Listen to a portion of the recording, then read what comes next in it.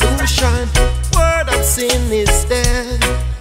In a world of negativity is ungodliness and mankind. What do we got coming next? Well, in a world rewarding competition, ideology of capitalism. I never heard the voice of compassion. Instead, of a life consists of criticism.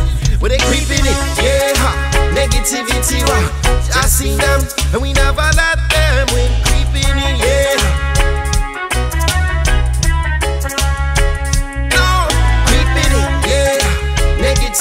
Wow. Just see them, we never let them win. Creeping it, yeah.